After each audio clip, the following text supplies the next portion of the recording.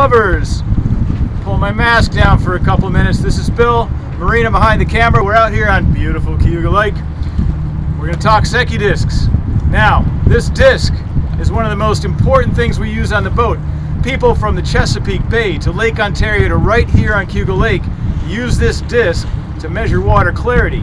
And scientists, volunteers, people just like you, can not only measure water clarity, but they can learn a whole lot about the health of the lake.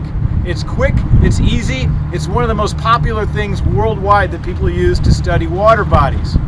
Now what we're going to be looking at is water clarity, but there's a couple of things that affect water clarity out here in Cayuga Lake. There is mud and sediment that washes in from our streams. With that mud and sediment comes nutrients, things that help algae and phytoplankton grow. If we get too much phytoplankton, water gets cloudy, right? Learn about it with this. Now we're going to do a demonstration. You may have watched a video just now or before this about this, the Chesapeake Bay. All right, in the Chesapeake Bay, the water quality, the water clarity is very low. It's one to two meters. So you might be thinking as we do this, I wonder if the water clarity in Cayuga Lake is going to be more clear or less clear than the Chesapeake Bay. You may have also watched a video of me and Astrid when we were out on June 9th and we just did a Secchi disc here in Cayuga Lake. We did a Secchi measurement.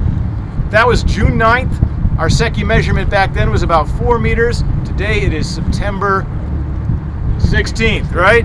So that's a couple months later. So does time and the season affect the water clarity? Okay, we're gonna try this out. Now I'm looking around. I've got the sun over my shoulder, so I'm not looking into the sun. That's helpful. I'm noticing the waves and some other factors out here that might affect my observation. And now I'm going to lower this black and white disc into the water. We're going to measure the yellow and red markers as they go underwater. Here we go. All right, see my first yellow marker?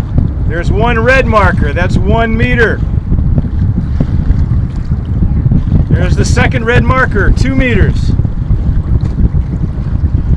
There's the third red marker, and I can still see that white disc in the black part down there. So I'm going to four meters. We'll see how that is. I can still see that disc. So I'm going to keep going to four and a half meters. It's starting to get pretty dim, but I think I can still see the white part. Marina, can you see it from your angle behind the camera?